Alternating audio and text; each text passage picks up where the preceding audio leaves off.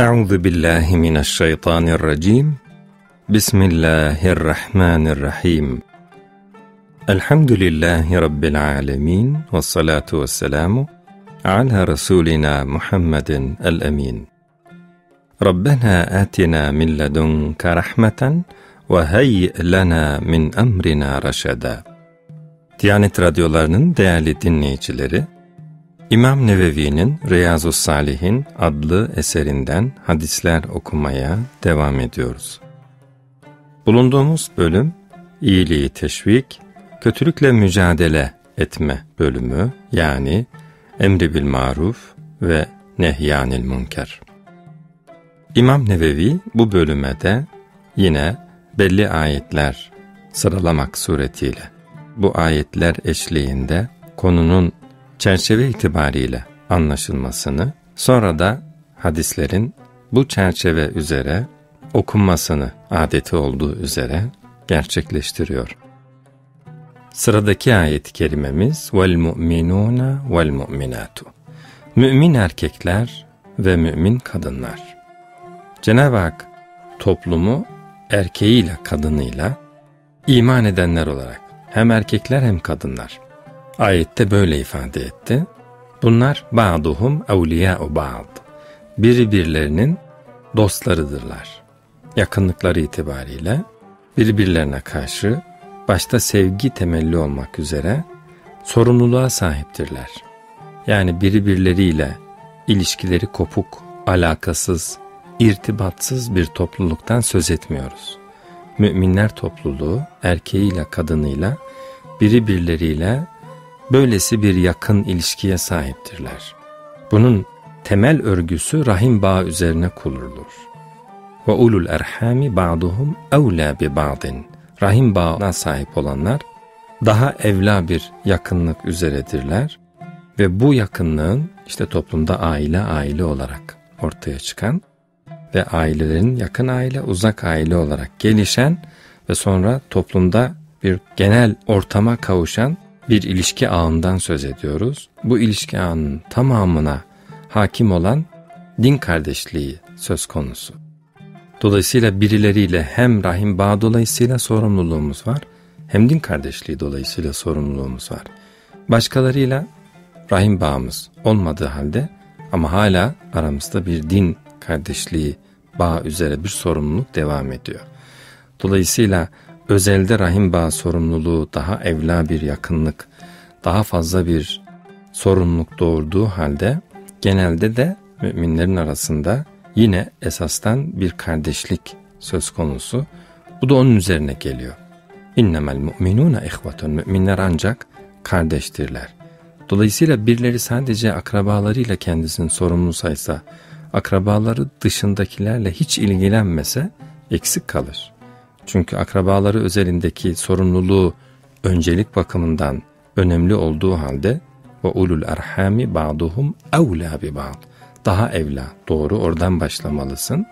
Ama orayı halledip bitirdiğinde daha dış halkaya karşı hiçbir sorumluluğum yok diye bırakamazsın. Oradan da dışarıya e, doğru ilerlemek gerekir. Allah Azze ve Celle Resulüne de böyle yaptı.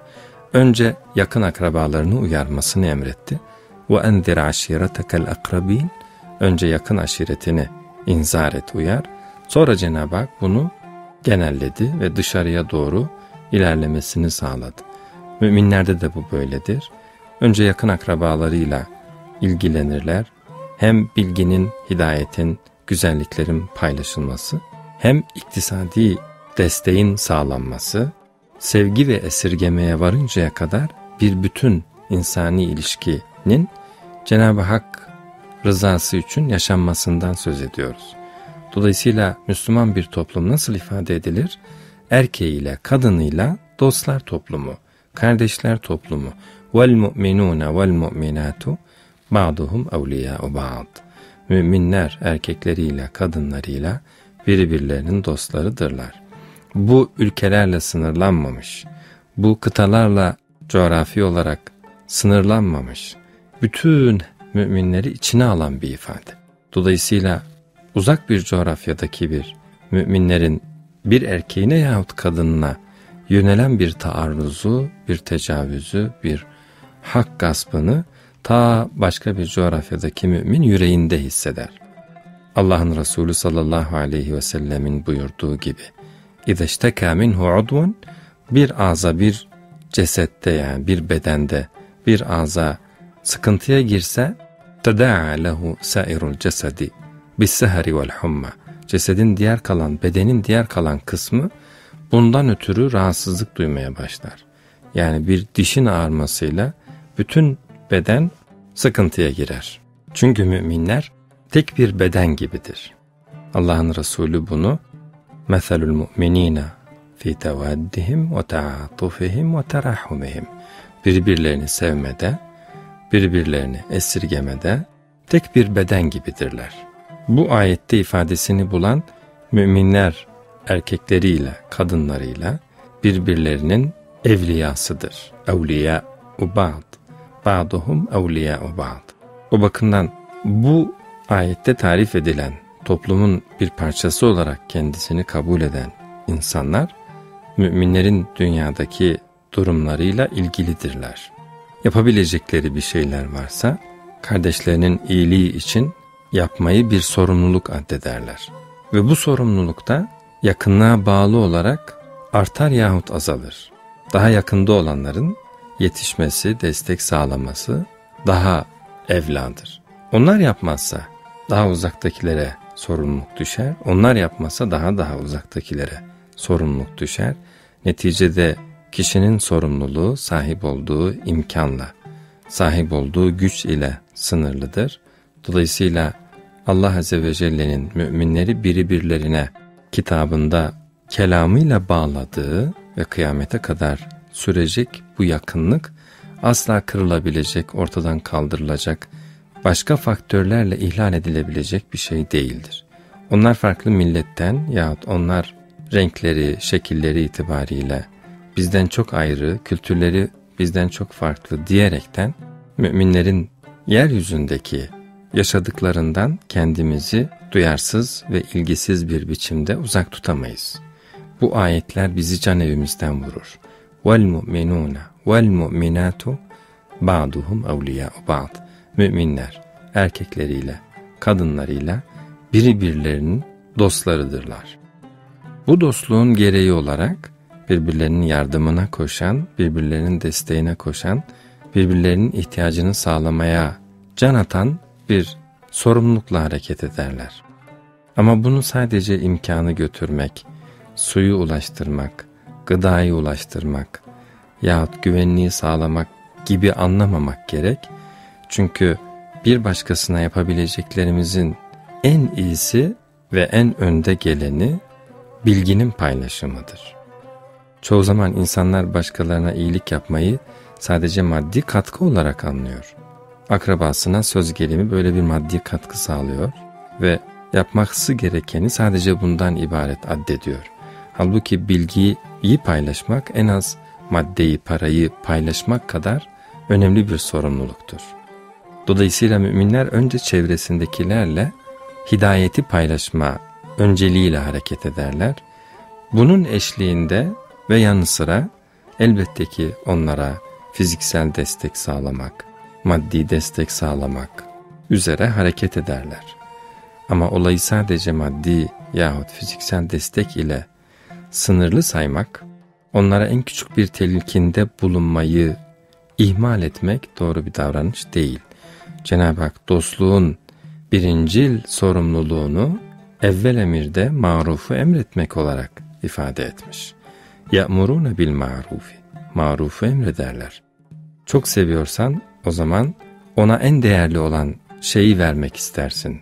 En değerli olan şey nedir şu dünya hayatında? Bize hem dünyada hoş ve güzel bir hayat yaşamamızı sağlayacak olan ve ahirette de ebedi bir saadete bizi kavuşturacak olan hidayetin ta kendisi. Cenab-ı Hakk'ın elçisiyle indirdiği kitabı ve elçisine yaşayarak uygulamasını sağladığı o sünneti. Buradan edindiğimiz ve hayatımıza ışık tutan bu bilgileri hem yaşadığımız hem de başkalarıyla paylaştığımız bir süreç onlara yapabildiğimizin en iyisi. Bunu ihmal edip bundan daha aşağı şeyleri paylaşarak kendimizi avutamayız. Bu bakımdan akrabamıza yardım ettiğimiz kadar onlarla oturup muhabbet ettiğimiz, doğruları konuştuğumuz, iyilikleri onlarla çoğaltmaya çalıştığımız, birlikte bir güzelliği yapabilmek için yardımlaştığımız, beraber camiye gitmek gibi, birlikte bir hayrı güzelliği toplumda inşa etmek, oluşturmak gibi, Allah'ın emrettiği bir şeyi beraber başarmak gibi. O bakımdan marufu emretmek, müminlerin bu iç içe dostluklarında ayette ilk sırada geliyor. Ya'murune bil maruf. Müminler birbirlerinin dostlarıdır. Dolayısıyla dost dosta marufu emreder. Bugün yanlış bir algıyla kendisine iyiliği telkin eden, kimseden haz etmeyen ve onu sen misin bana bunu söyleyen deyip düşman belleyen bir yaklaşım aslında bu sürecin önünü tıkıyor. Çünkü tam da bize doğruyu anlatan, marufu söyleyen kimsenin aslında dostumuz olduğunu bellememiz lazım. Madem ki benim adıma kaygı duymuş, hem bu dünyadaki yaşamımda hem de ahiretteki ebedi hayatında kötü sonuçları olacağını düşündüğü bir şeyi bana anlatarak bundan vazgeçmemi istiyor. Vakit ayırıyor, zaman ayırıyor, benim için endişeleniyor diye asıl dostumuzun o kişi olduğunu bilmemiz gerekirken bize iyiliği salık veren kimseleri hasmane bir tutum ile düşman bellemek, onları terslemek, onları yüzüstü bırakıp onlardan uzaklaşmak onlara değil en fazla kendimize yaptığımız bir kötülük olur. Çünkü dostluğun en güzel paylaşımı iyiliklerin ve güzelliklerin paylaşımıdır. Hem dünyada hem ahirette kalıcı bir netice sağlayacak olan hidayetin paylaşımıdır. Vel mu'minun vel mu'minatu mümin erkekler ve mümin kadınlar ba'duhum evliya'u ba'd birbirlerinin dostlarıdırlar. E ne yaparlar dostlarıysa ya'muruna bil ma'rufi marufu emrederler ve yenhavna anil munkari ve münkerden sakındırırlar. Çok sevdiğini söylediği bir evladını yahut yakınını kötülükten sakındırmaya dili varmayan bir kimsenin bu sevgisi bu şablona uymuyor. Çünkü onu Cenab-ı Hakk'ın öfkesinden, gazabından ve hayatı kötü bir biçimde tamamlamaktan engellemeye dönük önleyici bir tedbir olarak irtibat kurmak, bunları kendisine anlatmak, paylaşmak, söylemek, konuşmak, seven bir yüreğin sevgisini yaşadığı bir süreçte esirgemeye dönüşür. Cenab-ı Hak ayette وَالَّذ۪ي قَالَ لِوَالِدَيْهِ اُفِّنْ لَكُمَا Ana babasına uf demiş bir kimseden söz ediyor. Aynı anda da anne babasının nasıl o çocuk için çırpındığından söz ediyor. وَهُمَا يَسْتَغِيثَانِ اللّٰهِ وَاِلَكَ amin. O esnada anne babası nasıl Cenab-ı Hakk'a yalvarıyorlar. Ya Rabbi evladımıza hidayet et diye. Bir yandan çocuklarına yavrucum ne olur iman et diye, yazık olur sana veyleke amin diye. O bakımdan çocuğuna bilgi paylaşımı hususunda hiçbir önceliğe dikkat etmemiş. Sadece ona maddi bir kazanım ve sadece ona iyi bir meslek veya gelecek tasarlamış, düşünmüş. Buraya odaklanmış bir kimsenin bu velayeti, bu dostluğu, bu yakınlığı doğru yönetemediği anlaşılır. Çünkü iyilik ona hem dünyada hem ahirette kalıcı bir sonuç sağlayacak şey üzerinden anlaşılır. Sadece geçici süreçleri düşünmüş, kalıcı sonuçlardan uzak kalmış kimseler yakınlarına, sevdiklerine, çevresindekilere yeterince dostluklarını yansıtamamış olurlar. Dolayısıyla buradaki öncelik sırasında bilginin paylaşımı ya'murune bil maruf. Marufun paylaşımı. Bak doğrusu bu böyle yapsan iyi olur. Hem dünya hayatın açısından iyi olur hem ahiretin açısından iyi olur şeklinde aileden başlayan, kişinin yakın akrabasından başlayan ve dalga dalga marufun anlatılıp çoğaltıldığı bir süreç olarak yaşanmalı. En az paranın paylaşıldığı kadar, en az maddi desteğin sağlandığı kadar bilgi desteğinin de bu dostluk içerisinde hem de öncelikli bir biçimde yaşanması ve paylaşılmasına ihtiyaç var. Aynı şekilde kötülüklerin azaltılmasına, çevremizde gördüğümüz, nazımızın geçtiği, hele hele sevdiğimiz çocuklarımız, evladı iyalimiz, anamız, babamız veya daha geniş halkasıyla geniş ailedeki kuzenlerimiz vesaire kötülüklere karşı duyarsızlık, kötülüklerin önemli olmadığı gibi bir vehim oluşturduğu kadar o kötülükleri işleyenlerin bunlarda derinleşmesine ve sonrasında kötü bir akibete varmalarına yol açar. Bunlar sevdiklerimiz ise şayet o zaman buna gönlümüzün razı olmaması gerekir. Utanıyorum söylemekten. Söylersem kırılır kabilinden düşünceler ile onu ebedi bir mutsuzluğa bırakmak hiç akıl kârı bir şey değildir. وَيَنْهَوْنَ عَنِ الْمُنْكَرِ Elbette ki en çok da en çok sevdiğimizi münkerden sakındıracağız. Kötü davranıştan sakındıracağız. Kötü davranışı yapmasına gönlümüzün razı olmadığını ona hissettireceğiz. Bundan ötürü onun açısından kaygı duyduğumuzu, onu esirgediğimizi, onun için bu rahatsızlığı içimizde yaşadığımızı ifade eden bir söylem ile kötülükten vazgeçmesini, geçtiği takdirde ne kadar buna sevineceğimizi ifade edebildiğimiz o nushumuz, önceki sohbetlerimizde konuştuğumuz içtenliğimizi hissettireceğiz ki gerçekten bu dostluğu yaşayabilmiş olalım. Yoksa Allah'ı paylaşmadığımız, Cenab-ı Hakk'ı anlatmadığımız, ona dönüşü hatırlatmadığımız bir dostluk sürecinin seküler planda kaldığı ve kim bilir belki tam da şeytanın istediği bir düzlemde yaşandığı anlamsız bir ilişkiye dönebilir. Bu ilişki yavan, bu ilişki ruhsuz ve bu ilişki Allah Azze ve Celle katında değersiz olur. İster aile içi, eşler arası ilişki olsun, ister ebeveynin çocuklarına karşı ilişkisi olsun, ister kuzenler arasında olsun, ister daha geniş ailede yahut iş arkadaşlığında yahut dostlar arası bir ilişki olsun, yüreklerin biri birleri için Cenab-ı Hak adına kaygı duymadığı, Allah'a karşı sorumsuzluğu umursamadığı bir dostluk ağının böylesi bir velayetten yani yakınlıktan nasibi olmadığı söylenir. Çünkü orada artık şeytanın istediği kadarıyla Cenab-ı Hakk'ın konuşulmadığı ve hatırlatılmadığı bir izolasyon söz konusudur. Buna dostluk diyemeyiz. Bu aslında düşmanlık gibi bir şey. O yüzden Cenab-ı Hak dedi ki el-ahillâ'u yevme edin ba'duhum li ba'din adu. Yeryüzündeki bütün dostlar ne kadar yakın dostluk yaşamış olurlarsa olsunlar el-ahillâ'u yevme edin ba'duhum li ba'din adu. Kıyamet sabahına birbirlerine karşı düşman olarak uyanırlar. El-ahillâ'u yevme izin ba'duhum li ba'din adu. Bunun tek bir istisnası var. O da illel muttakin. Muttakiler hariç. Yani bu dostluklarını takva temelli yaşamış olanlar. Cenab-ı Hakk'a karşı sorumlulukla bu dostluklarını yaşamış olanlar. Birbirlerini iyilikte teşvik edip birbirlerini kötülükte sakındıranlar. Bunların dünyadaki dostlukları ahirette aynı şekilde dostluk olarak uzanır.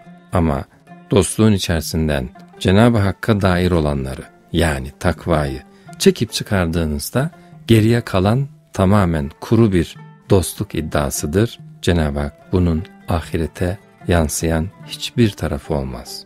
Büsbütün düşmanlığa dönüşür. O bakımdan bugün gönülleri kırılır diye dostlarımıza hakkı söylemekten imtina edersek, yarın onların adavetiyle, düşmanlıklarıyla karşılaşırız. Bunu sen bana nasıl söylemezsin, niçin hatırlatmadın, kötü olan aslında sensin diye bu cürmü üzerimize yıkmaya çalıştıklarına tanık oluruz. Çünkü hani derler ya kötülük gelin olmuş, kimse almaya yanaşmamış.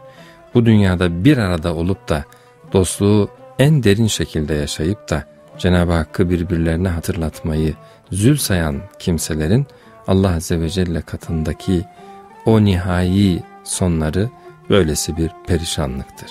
Çünkü böyle bir dostluğun aslında esası yoktur. Cenab-ı Hakk'ın sevgisine dayanmayan, ona dönüşü esas almayan ve onun vaat ettiği o mutlu gelecekte alel araiki yanzurun karşılıklı tahtlar üzerinde Allah'ın nimetlerini ümit edip yaşamayanların dostlukları bu dünyada ne kadar yüksek perdeden ifade ederlerse etsinler, gerçekte hiçbir kalıcılığı ve hiçbir değeri yoktur. Dostlar birbirlerine iyiliği telkin eder, birbirlerini kötülükten sakındırırlar. Dostluk budur. Dercesine Allah Azze ve Celle bu ayeti böyle ifade buyurmuş. Vel mu'minatu Mümin erkekler ve mümin kadınlar. Ba'duhum evliyâ'u ba'd. Biri birlerinin dostlarıdırlar. Bil ma'ruf. Marufu emreder. Yenhavne anil munkar. Münkerden birbirlerini sakındırırlar. Diyanet Radyoları'nın değerli dinleyicileri, bugün de bize ayrılan sürenin sonuna geldik. Bir sonraki hadis sohbeti programında buluşmak ümidiyle Allah'a emanet olunuz efendim.